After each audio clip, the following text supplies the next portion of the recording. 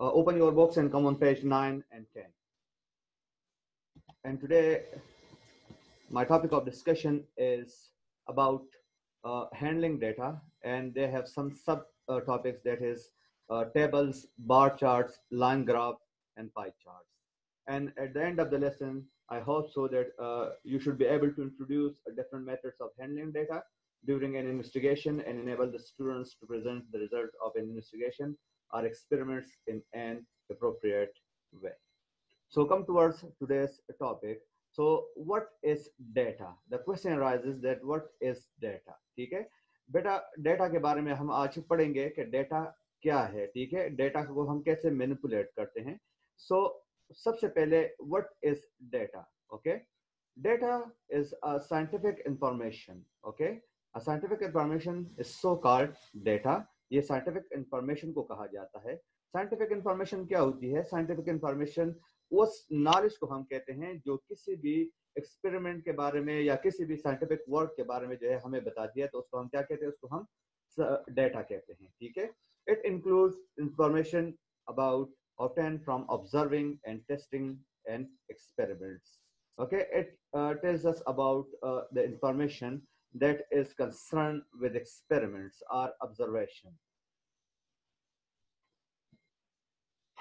Now, why scientists uses data? To get more understandings and to make more make conclusions. Okay, scientists uses data to gain more understanding. They got more knowledge. They got uh, more uh, values about the experiments and to make conclusion and they should make their decision according to the data okay scientist data को कैसे इस्तेमाल करते हैं? Scientist data को जो है अपने लिए इंफॉर्मेशन कलेक्ट करने के लिए जो है वो हासिल करते हैं, ठीक है? और अपनी राय कायम करने के लिए जो है वो उसको यूज़ करते हैं डेटा को। हाउ साइंटिस्ट कैन डिस्क्राइब और शो डेटा ये बहुत इंपॉर्टेंट क्वेश्चन है, ठीक है? कि हम डेटा को कैसे शो करते हैं या उसको कैसे डिस्क्राइब करते हैं? So we have different ways to manipulate our data, okay? Scientists often use tables, graphs, or charts. Scientists often use table, graphs, or charts to show their data, okay? Scientists using different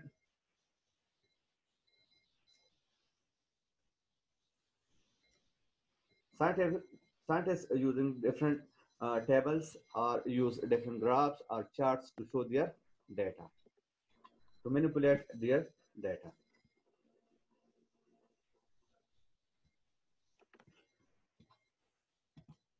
Now, methods to present data. Now, we have basically four methods to present our data.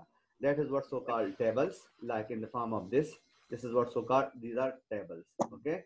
This is what so-called bar charts. These are bars, okay? Your data will represent uh, will be represented by different bars okay the data that you should manipulate or you should interpret that will be in the form of bars you can see here these are different bars okay so this is what so called bar charts you can see here this, these are so called line graphs okay ये आपको show हो रहे हैं ये lines show करता है ठीक है these are so called line okay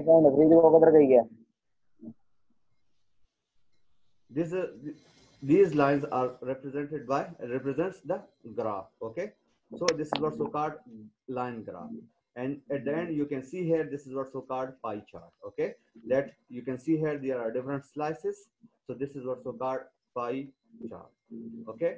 Now these are the different uh, presentation of data how to represent your data. So we have basically four. That is what so called tables bar charts line graphs and pie charts now come towards uh, the uh, in handling data. Okay, come on page nine of your book, and uh, the major topic is the major topic is handling data. Okay.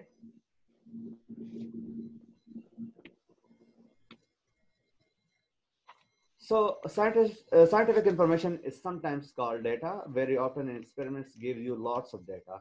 Data is very useful if you organize and present it in the most appropriate way. Okay. so, हम scientific uh, को हम क्या कहते हैं? उसको हम data कहते हैं। अब हम इस डेटा को कैसे मैनिपुलेट करेंगे? इसको कैसे इंटरप्रेट करेंगे? तो उसके लिए हमारे पास डिफरेंट तरीके हैं। हमने मैंने आपको बताया कि हमारे पास क्या है? पहला टेबल है फिर बार होते हैं फिर ग्राफ होता है फिर उसके हम बाद हम चार्ट्स पे जाते हैं ठीक है? तो उसको हम एक एक करके जो है यहाँ पे एक्सप्लेन करेंगे।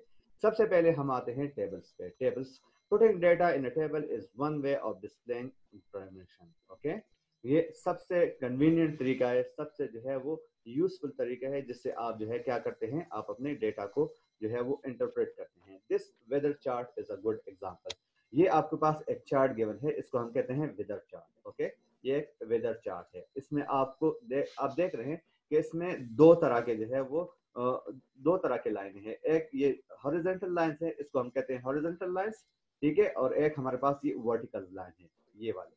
ठीक है? इसको हम कहते हैं vertical line Information is collected together and you can compare the results quite easily. However, a table containing lots of information can be confusing and boring to look at. अगर इसमें आप बहुत सारा जो है वो डेटा डालें तो फिर वो आपके लिए जो है वो परेशानी का बायस बनता है ठीक है? और इससे जो है फिर आप क्या हो जाते हैं? कंफ्यूज हो जाते हैं और उससे फिर आप बाद में बोर होना शुरू हो जाते हैं। That is why data is also present in graph and इसलिए जो है डेटा को ग्राफ्स और चार्ट में जो है, अगर आपके पास जो है वो वैल्यूज़ बहुत ज़्यादा है तो फिर आपके पास टेबल सुटेबल नहीं होता, इसलिए फिर आप ग्राफ्स पे जाते हैं या फिर चार्ट्स पे जो है वो आप जाते हैं, ठीक है? जो अगर आपके पास लिमिटेड वैल्यू है, ठीक है तो उसको आप इजीली जो है टेबल्स में क्या कर सकते हैं ड्रा कर सकते हैं, ठीक है? टेबल्स क्या होते हैं? इसमें लाइंस होते हैं हॉरिजॉन्टल लाइंस होते हैं, ठीक है? ये ये हॉरिजॉन्टल लाइंस है, इसको हम हॉरिजॉन्टल लाइंस कहते हैं। और ये आपके पास क्या है? ये वर्टिकल लाइंस कहलाते हैं। ठीक है? These are so called vertical line आप देख रहे हैं कि यहाँ पे जो है, हर एक रो जो है, ये रो कहलाता है। ये हॉरिजॉन्टल लाइन जो है, ये क्या होता है? ये रो कहलाता है। ठीक है? This is what so called row okay और ये आपके पास क्या है? ये कॉलम है। ठीक है? जो वर्टिकल लाइन है, वो उसको हम कॉलम्स कहते हैं। हर एक रो आपके पास एक डिफरेंट इंफॉर्मेशन रखता है। फ़र्स्ट रो आपको आपको बताते हैं डैश के बारे में कि ये डैश है। पहला दिन, दूसरा, तीसरा, चौथा, पांचवा, छठा और सातवां, ठीक है? ये डैश के बारे में जो है वो क्या करते हैं, आपको बताता है। सेकेंड रो जो है वो क्या करता है, वो आपके पास जो है वो अमाउंट ऑफ़ क्लाउड के बारे में बताता है, ठीक है? Eleven P M eleven P M जो है, रात के ग्यारह बजे आपको बताते हैं कि कितने बादल थे या नहीं थे, ठीक है? तो उसके बारे में आपको बताते हैं। जो यहाँ पे ये आपका पास, ये वाला जो रो है, ये आपको बताता है डे टाइम टेम्परेचर के बारे में, कि दिन के 11 बजे कितना टेम्परेचर था, ठीक है? और अमाउंट ऑफ़ क्लाउड जो है, वो आपको आखिरी रो बता है, ठीक है? तो इस तरह जो है, आप इसको इंफॉर्मेशन जो है, इसमें से क्या कर सकते हैं? इसमें से डाल कर, डाल सकते हैं, और इससे जो है, आप इजिली कंक्लूजन को जो है, वो डेवलप कर सकते हैं। This is all about your tables okay आप देख सकते हैं, पहले दिन जो है, वो टेम्परेचर टू था, फिर ज़ीरो फिर माइनस वन फिर बढ़ गया है फाइव डिग्री सेंटीग्रेड पे चला गया, फिर सिक्स फिर सेवन और फिर दोबारा रिड्यूस हो गया टू इस तरह यहाँ पे आप देख सकते हैं कि पहले दिन बहुत ज़्यादा बादल थे, फिर जो है वो बादल थोड़े कम हो गए जब टेम्परेचर माइनस में चला गया तो फिर बादल खत्म हो गए थे, ठीक है? फिर फाइव डिग्री सेंटीग्रेड पे थोड़े बादल थे सिक्स में भी उतने सेवन में भी उतने और फिर टू डिग्री सेंटीग्रेड पे बादल कम हो गए इसका मतलब ये है कि जितना टेम्परेचर बढ़ता जाता है तो बादल जो है वो ज़्यादा होते जाते हैं। यानी जहाँ पे बादल ज़्यादा हो टेम्परेचर ज़्यादा होगा। इसका मतलब ये है कि बादल और टेम्परेचर का दरमियान में जो है वो डायरेक्ट प्रोपोर्शनलिटी है। ठीक है? अगर बादल होते हैं तो टेम्परेचर ज़्यादा होगा, और अगर बादल नहीं होंगे या कम होंगे तो फिर टेम्परेचर जो है वो कम होगा। ठीक है? तो this is all about the weather condition they were talking about.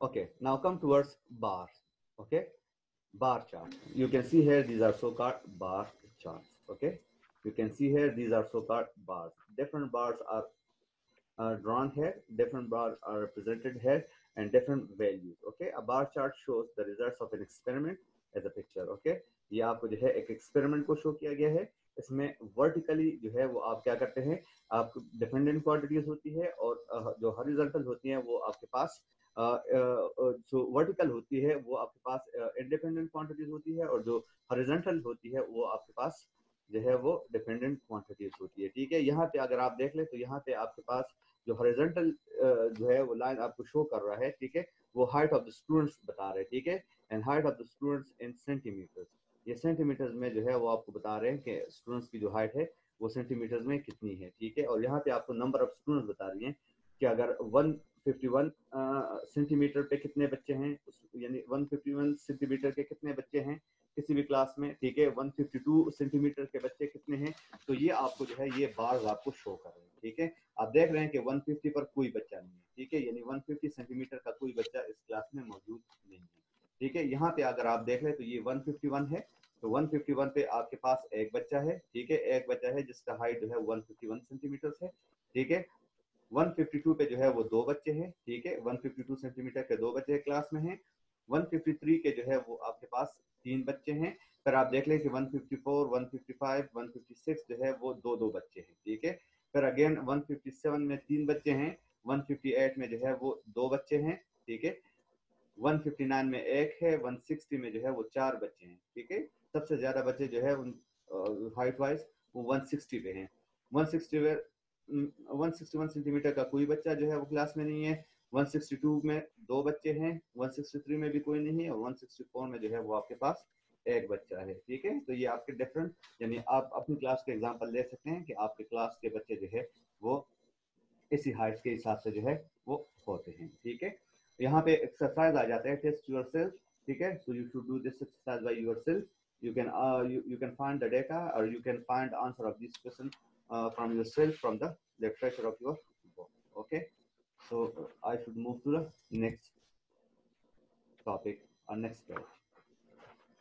Now come towards line graph okay? This is the third uh, way to interpret your data okay? Line graph. Line graph basically hota hai a line graph is useful because it also show results as a picture. You can see here ये आपको show कर रहा है result को एक picture की सूरत में, ठीक है? एक तस्वीर की शक्ल में जो है वो आपको शो कर रहा होता है, ठीक है? इसमें आपके पास जो है वो क्या करते हैं? आपके पास वर्टिकल लाइन और हॉरिजॉन्टल लाइन होते हैं, ठीक है? ये आपके पास वर्टिकल लाइन है, आप देख रहे हैं मुख्तलिफ़ किस्म के वर्टिकल लाइन जो है वो यहाँ पे ड्रा है और ये आपके पास हॉरिजॉन्टल लाइन ड्रा है, ठीक है? इन हॉरिजॉन्टल और वर्टिकल लाइंस की मदद से जो है आप क्या करेंगे? आप अपने जो है वो डेटा को पुट करेंगे और उससे जो है आपके पास एक लाइन जो है वो आ जाएगा जिससे जो है वो आप इजीली चीज़ों को इंटरप्रेट कर सकते हैं ठीक है so a line graph is useful because it also show result as a picture you can also use it to read of values which you have not measured.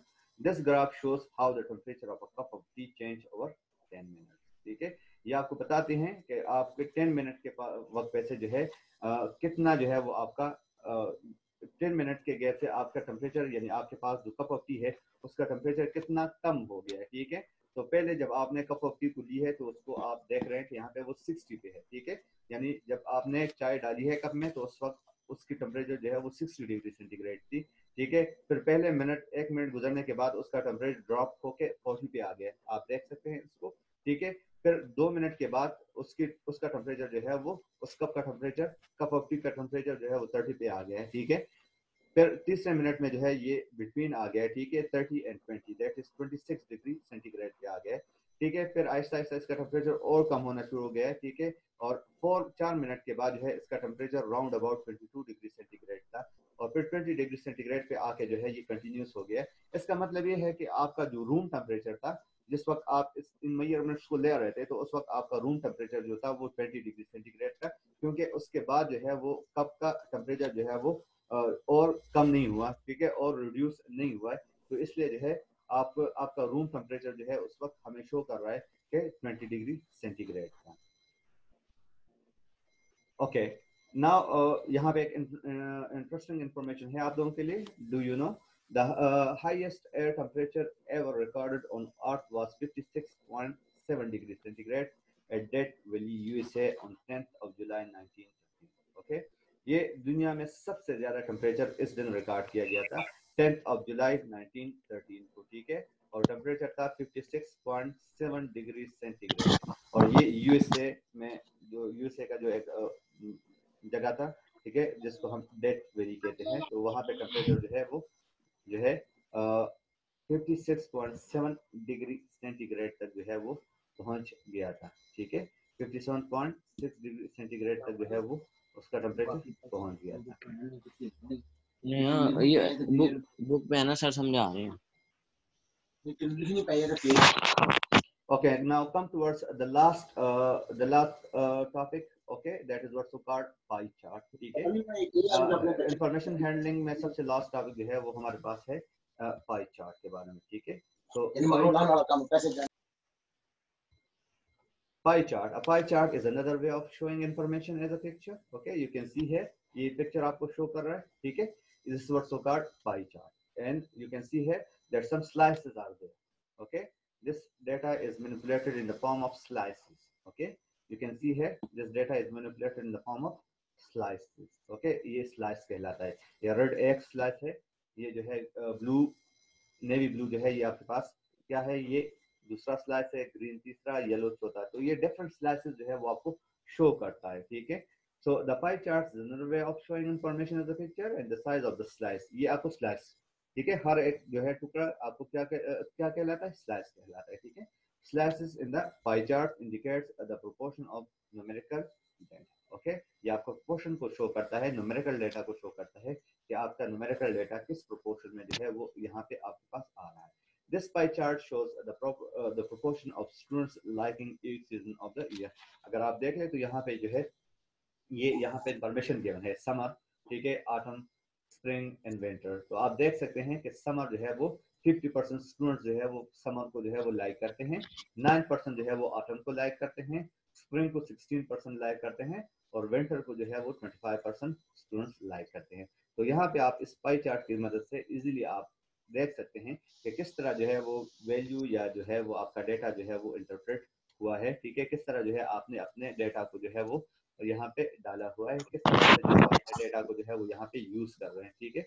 So this is all about what this is all about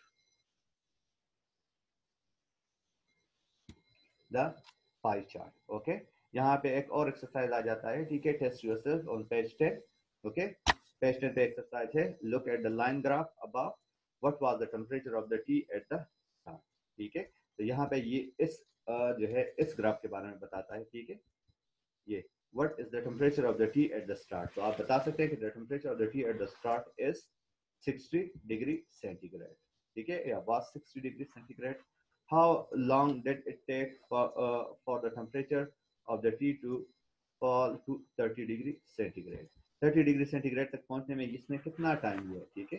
सो आप दोबारा से chart पे जाएँगे। सो 30 degree centigrade पर पहुँचने के लिए इसने टाइम कितना लिया है? That is two minutes okay तो यहाँ पे आप टू मिनट्स को शो करेंगे। And what was the temperature of the room whether this experiment was carried out तो मैंने आप लोगों को पहले बताया कि 20 डिग्री सेंटीग्रेड पे आके जो है वो उसका टेम्परेचर कांस्टेंट हुआ यानी इसके बाद जो है उसने और उसका टेम्परेचर और रिड्यूस नहीं हुआ तो इसलिए जो है वो उसका रूम टेम्परेचर जो है वो 20 डिग्री सेंटीग्रेड कंसिडर होगा क्वेश्चन टू जो है वो आपका पाई चार्ट के मुतालिक है। Look at the pie chart, which is the most popular season of the year for this group of students. तो मोस्ट पॉपुलर कौन सा हो सकता है? मोस्ट पॉपुलर सीज़न जो है वो समर है, क्योंकि 50 परसेंट बच्चों ने समर को लाइक किया हुआ ठीक है? मोस्ट पॉपुलर सीज़न जो है वो समर है, ठीक है? आप समर लिखेंगे यहाँ पे। What proportion of the students what what proportion of the students chose spring as their favorite season तो स्प्रिंग कितने 16 परसेंट ठीक है 16 परसेंट स्टूडेंट्स ने जो है वो स्प्रिंग को लाइक किया हुआ है this data come from 40 students how many students chose winter as their favorite students so 25 percent students 25 percent students uh, जो है उसने उन्होंने लाइक किया है विंटर को So 25 divisible by 100 multiplied by 40 तो इससे आपके पास आ जाएँगे 10 स्टूडेंट्स ठीक है? तो 10 स्टूडेंट्स जो है वो 10 स्टूडेंट्स ने जो है वो विंटर को लाइक किया हुआ है। ठीक है बेटा?